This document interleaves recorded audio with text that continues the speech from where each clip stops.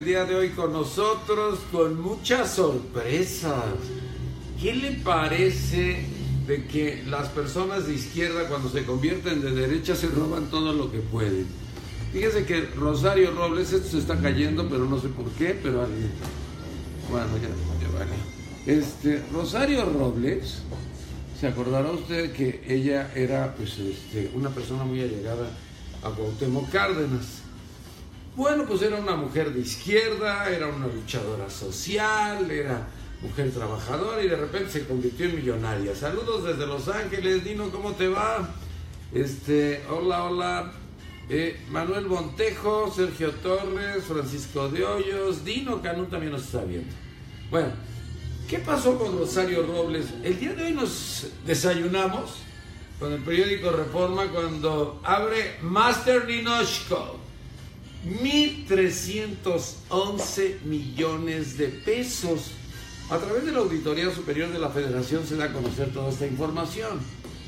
Y ella dice que pues no sabe de qué se trata, pero aquí viene de que aumentaban los precios de la publicidad. Y aumentaban los precios de la publicidad para ir haciendo un cochinito. ¿Se acuerda que ella hizo un cochinito hace muchos años con López Obrador? Pues no será el mismo o algo, algo está raro. Yo no entiendo en dónde está el problema, pero algo está raro. Pero regresando nuevamente a, Rosario, pues hay algo que llama mucho la atención. Este, estos 1.311 millones de pesos, pues fíjate usted que los depositaron en un banco mexicano para transferirlos a dólares y se los llevaron. A ver, ¿cómo le hace usted para transferir esa cantidad de dólares? Yo fui a Banamex y pregunté que si podía hacer alguna transferencia, me dijeron sí. De esto está mal, no sé por qué. Puede usted hacer una transferencia de 9 mil dólares, pero siempre y cuando nos sea que su credencial de lector, nos dé toda su información, para qué va a ser ese dinero. Bueno, casi me confiesan, dije 9 mil dólares. Oiga, pero si están renovando 1.311 millones de pesos y los convierten a dólares y no pasa nada. Ah, eso es otro asunto, eso nosotros no sabemos. ¿Cómo le hace una mujer de izquierda, una luchadora social, que vive en Reforma 222, aquí pasó la Reforma, cómo le hace con ese sueldo que tiene?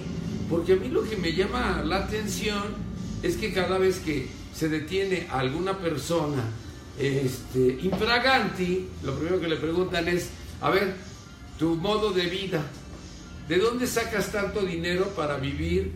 También si ganas muy poco, demuestra que ese dinero no es robado, que ese dinero no es lavado. ¿Por qué los banqueros tienen acuerdo con ellos? Está igual que Josefina Vázquez Botar, que con los mil millones de pesos que le dieron, Liliana González está viendo el programa, es una rata y miserable, dice Albert Weiss. A ver, yo no entiendo, de veras no entiendo. ¿Cómo le hace la señora Rosario Robles para transferir estos 1.311 millones de pesos y aumentar eh, las tarifas, las tarifas de eh, publicidad de Sedatu y también ahí en Cedesol para hacer su cochinito, pero hay algo que, que, es así como interesante. Usted llega y le dice, oye, pues este, te cuesta 100 millones de pesos, no, pues ponle 120 y ya son 20 para mí. Ah, qué padre, 20 para ti. Sí, bueno y este, ya lo depositan y se va a empresas fantasma. Pues no el SAT dice que ya tiene detectadas 10.000 empresas fantasma. ¿O será que el señor que maneja el SAT, Osvaldo Santín, pues ha estado pitorreando de nosotros porque pues ella lo manda a las empresas fantasma y en ese momento pues hacen los movimientos y con estos movimientos maravillosos de la tecnología este, mandan su dinero a dólares y lo hace en dólares y lo saca del país y no pasa nada. Bueno, todo está muy raro. Fíjense que el día de hoy la nota más importante del periódico El País dice que allá en Argentina el subsecretario que reporta a Mauricio Macri allá en Argentina ocultó dinero en Andorra y por eso lo acaban de despedir, lo acaban de correr. No sé si lo vayan a meter a la cárcel, pero aquí no corren a nadie. Oye, Nino, aquí roban lo que quieren los políticos y no les hacen nada. Que saque su cochinote para ayudarlos. El temblor, Roberto. No lo deseo, pero que pase si AMLO enfermara en estos meses, ¿no? Pues ya, ya se fregó todo, ¿no? Nino, los del PRIAN se van a ir a la cárcel como cangrejos. Es una ratota cínica y sinvergüenza. Bueno, ya primero nos había clavado con lo de Ahumada, ¿se acuerdan? Que decían que Rosario Ahumada, Ahumada de apellido, no que estuviera Ahumada, no, no vais a pensar eso. Pero, como dice este, eh, Peña, no te preocupes, Rosario, no te preocupes. ¿No se acuerdan que se hizo hashtag? No te preocupes, Rosario, porque pues, le empezaron a criticar, le empezaron a pegar, pero de la izquierda se convirtió en millonaria, porque también compró la casa, no sé por qué, pero esta, esta me veo como amarillo, como si hubiera dado hepatitis. A ver si no está ahí el compañero. ¿Me ayude? No. Está como si me hubiera dado hepatitis. Bueno, este, pero, a ver, ¿qué pasa cuando ella pues este, con Ahumada compra la casa de Guadalupe Rivera. De Guadalupe Rivera, la hija de Diego Rivera. Pues que tenían tanto dinero. Y después pues se queda sin nada, desaparece todo ese dinero, ya se queda así como en la miseria y otra vez es millonaria. Vamos a la estafa maestra. La estafa maestra se habla de 7.500 millones de pesos. Estos 7.500 millones de pesos pues, son de varias secretarías, entre ellas está, hasta Gerardo Ruiz Esparza robó en esa. Pero, ¿qué pasó con la estafa maestra? Pues no han hecho nada, nada, lo que es nada. No se ha investigado nada, nadie le interesa nada.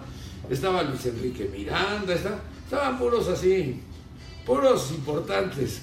Se suma la gran estafa, niño. Sí, es la gran estafa. ¿Qué procede con la nueva estafa de Rosario Robles? Pues nada, ella va a decir que no es cierto y que no es cierto. En Guatemala desaparecieron 35 millones y ya les anda, y aquí nada de nada. Eres del movimiento naranja, sí te veo, sí, es que no sé qué pasó, cara. No sé qué pasó, pero se ve horrible. Pero bueno, mil disculpas, no sé ni qué hacer. Bueno, le platico.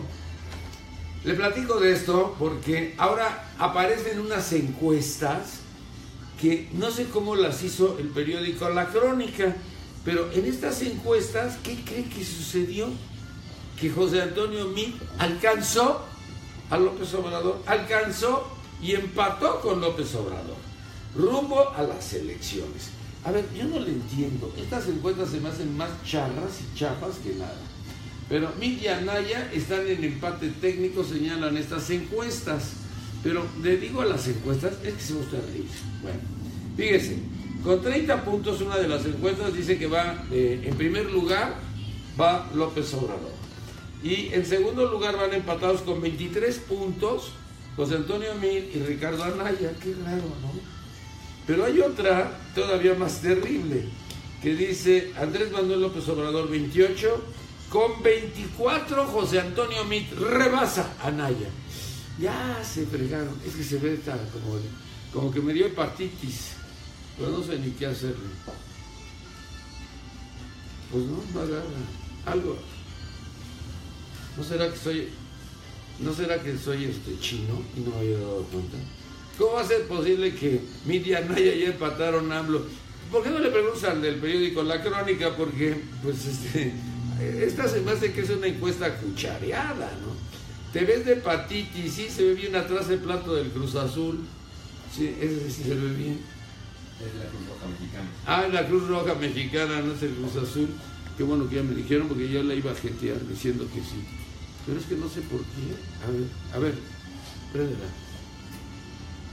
Pues no, no sirvió, no sirvió para nada, pero...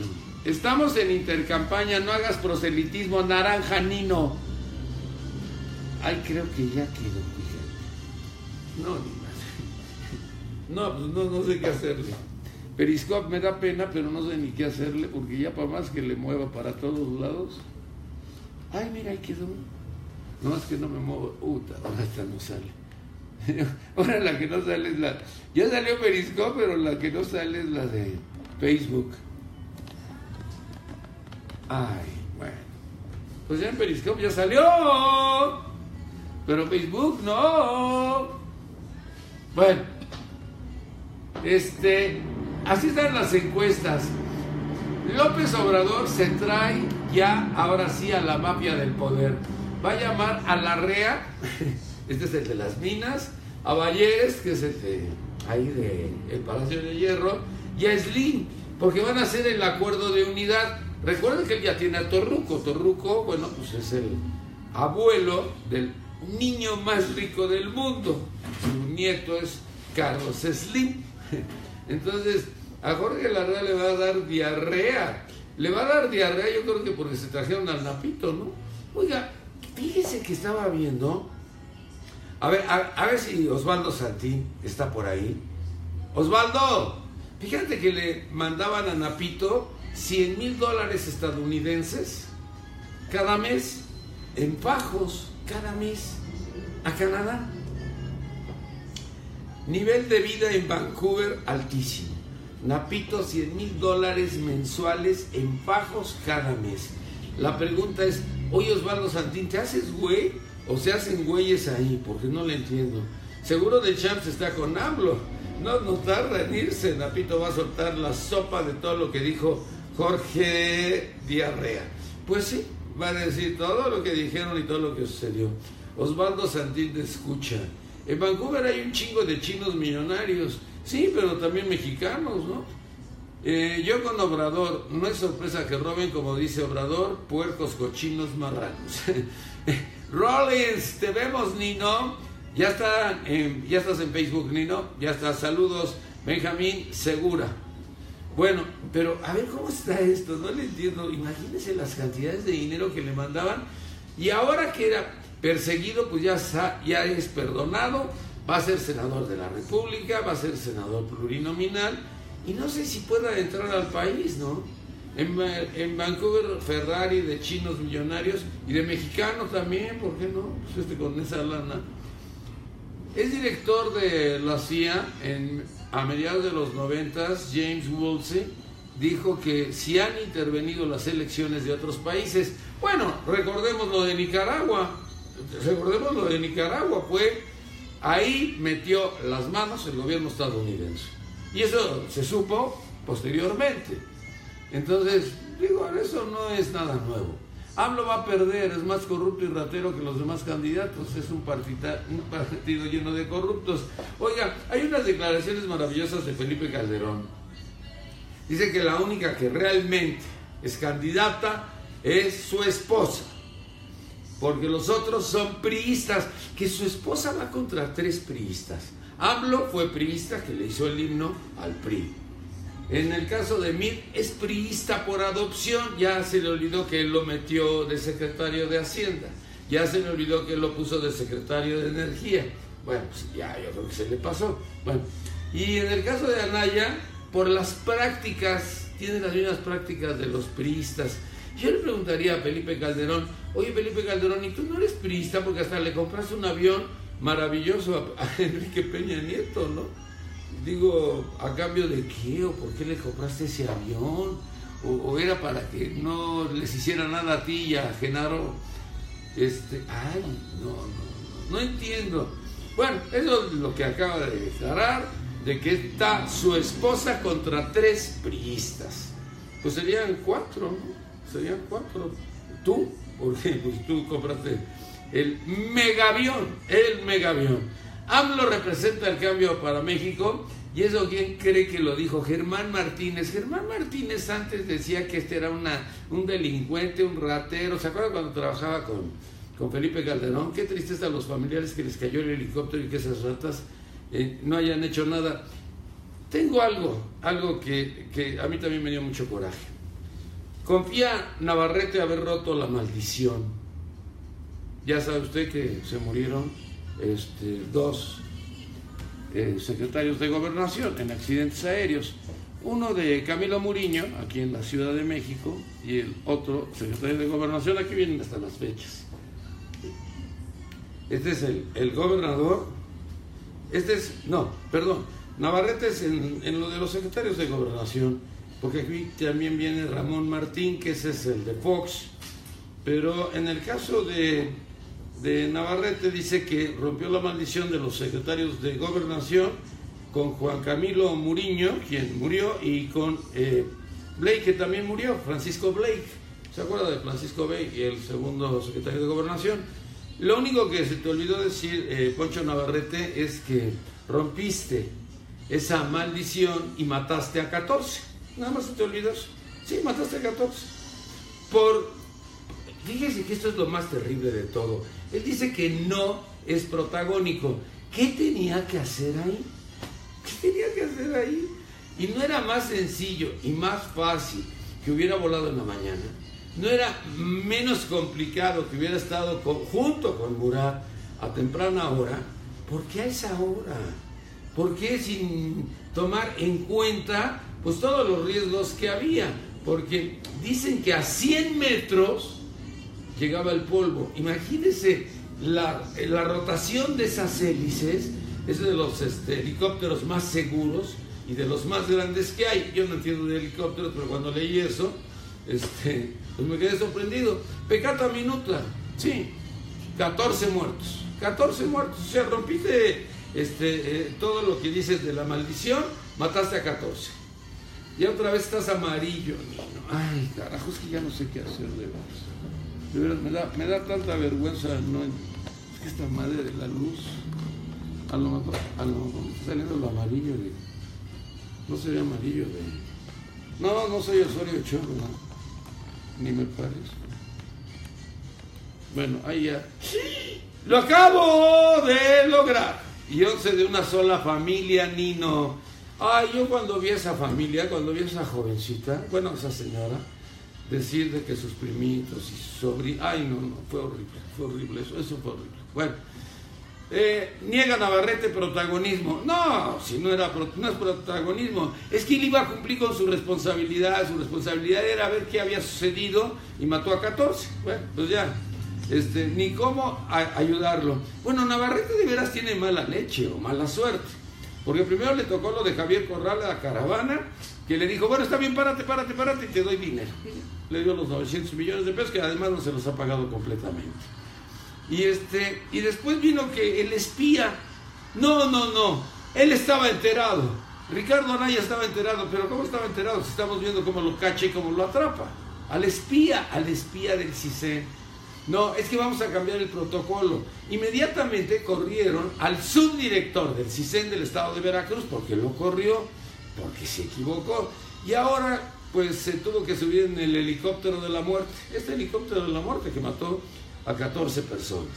Y ahí viene, bueno, pues todas las tragedias que se han vivido por vía aérea y que, bueno, pues son muy lamentables, pero a mí me da mucha rabia, me da mucha rabia que diga él, no soy protagónico, pues entonces si no eres protagónico, ¿a qué te subiste?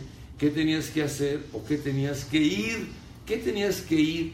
A ver lo de los hijos, hubiera sido en la mañana. Trámite desde el socavón y evitas el naranja. Sí, me voy a meter en el socavón.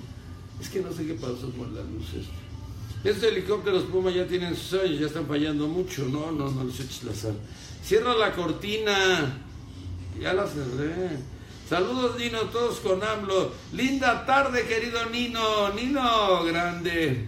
Tiene tiempo pagado, ya es el protagonista. Dice Sandra, Sandra Rosales, pues claro, protagónico. ¿Cuál sale? Eso no es verdad. Bueno, abre la puerta al control de armas el presidente Trump. Después de lo que sucedió, después de esta matanza, ¿cómo es posible? A ver, yo me pregunto, este muchacho de 19 años, si va ahorita a Walmart no puede comprar una cerveza. Si va a un restaurante no puede pedir una cerveza, porque es menor de 21 años. Recuerden que ahí la mayoría de edades de 21 años. Está igual que Ruiz Esparza, mueren dos personas en el Socavón y no pasó nada porque ni siquiera se arrepintió. Bueno, pues sí, sucedió lo mismo. Pero, ¿qué pasa con un joven que sí puede tener rifles largos y matar a 17 personas? Y después salirse a comer a McDonald's. Gerardo Ruiz Estranza. Siguieron un mal protocolo de aterrizaje. Lo que haya sido son los militares, es el ejército mexicano. La inteligencia del ejército mexicano falló. Se acabó. Ya llegó Cienfuegos a decir que ellos van a ser responsable, sí, pero los muertos ya no, ya no regresan. Según el helicóptero era de tecnología especial para operaciones nocturnas, por eso lo dejaron volar en la noche. Nino, el PRI está haciendo las cosas muy bien para chingarnos. Pues sí, eso es lo terrible. Bueno, pero ya, este, dejemos esto y vayamos a algo que también es así como angustiante. Ya le dieron 5 mil millones de pesos más a Gerardo Ruiz Esparza para su famosísimo tren. ¿Qué es eso? No entiendo, ¿por qué 5 mil millones de pesos más?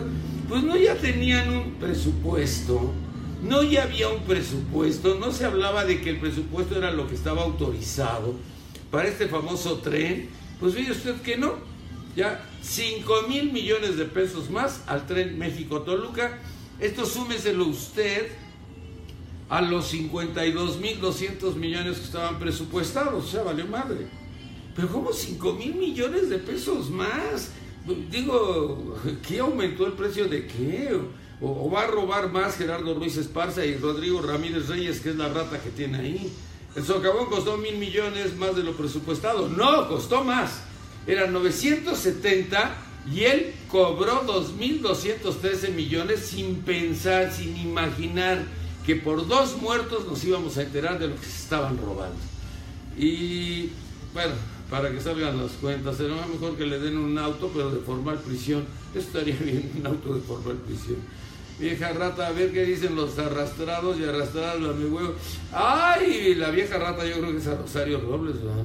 Llevan seis días difundiendo la masacre de Florida, donde hubo 17 muertos con un enfermo, y la muerte de 13 personas en Oaxaca. Son 14, son 14. Apenas se mencionó. Son 13, eh, todo el mundo está diciendo 13, pero eran 13 los fallecidos. Y al otro día falleció la persona número 14. Pero no, aquí como que les valió madre. Eh, se murieron. Pero eran pobrecitos. Total, ¿qué? ¿A quién le importa?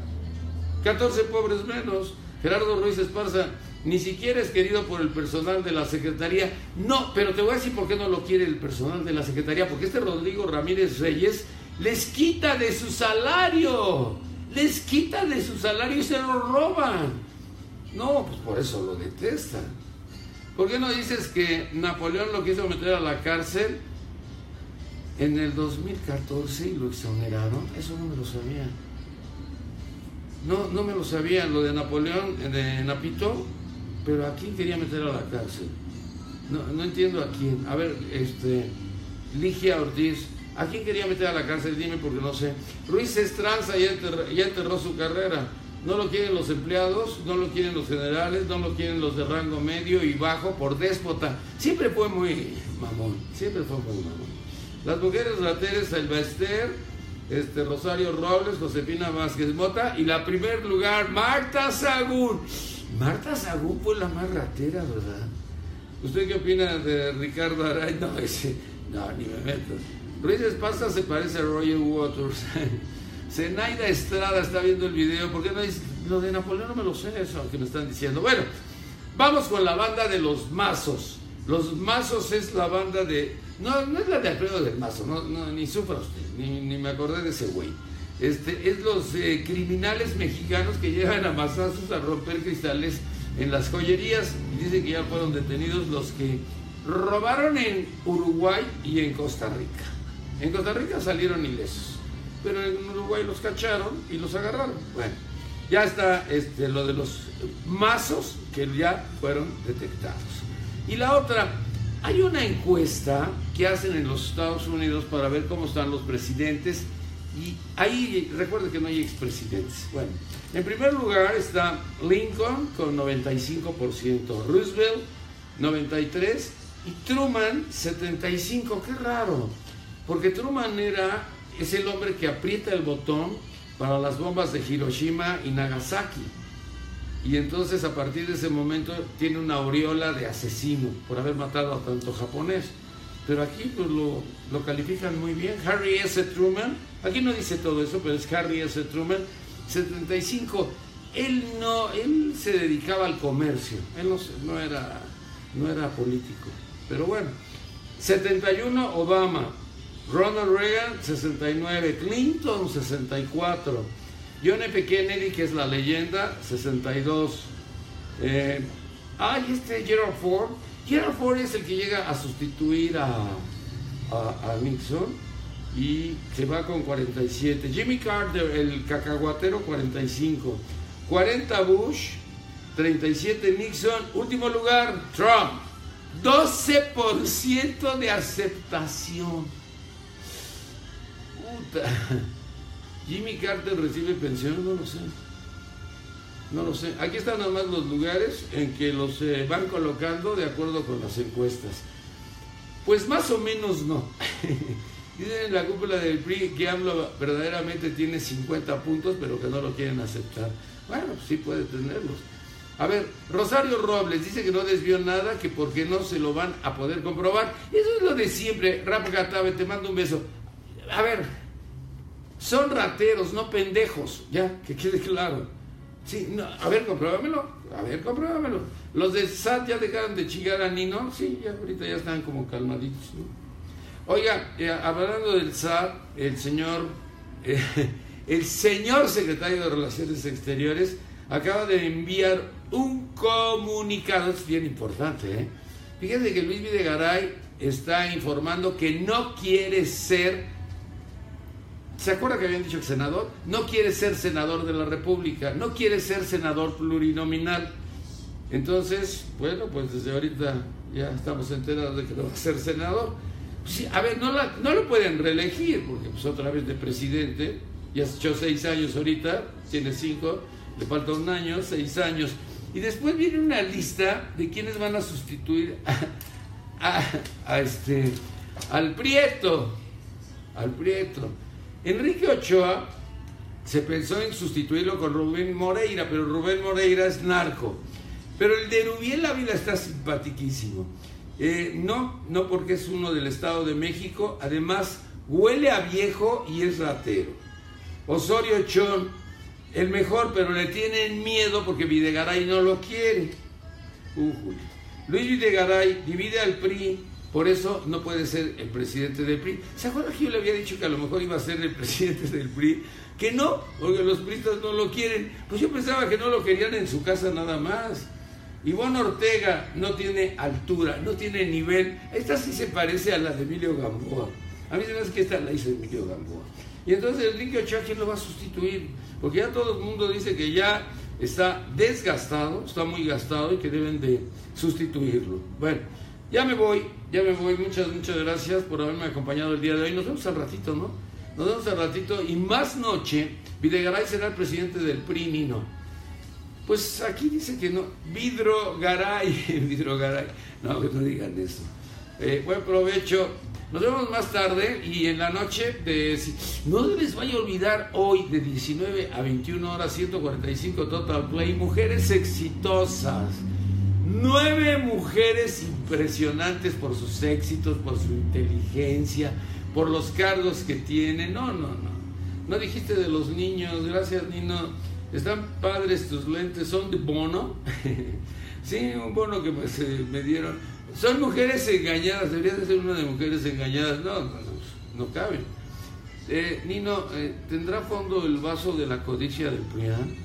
No, yo creo que el vaso de la codicia es el vaso de la codicia, de la avaricia y de la ambición. Es todos, todos, todos. Ahí están los pecados capitales, porque yo veo a Gerardo Ruiz Esparza que sigue robando y pues yo no sé dónde va a meter tanto dinero. Bueno, ya me voy. Gracias, muchas, muchas gracias por haberme acompañado el día de hoy. Me despido de usted. Mi nombre es Nino Canún. Dile a Pancho Rata que te pague tu lana, Nino.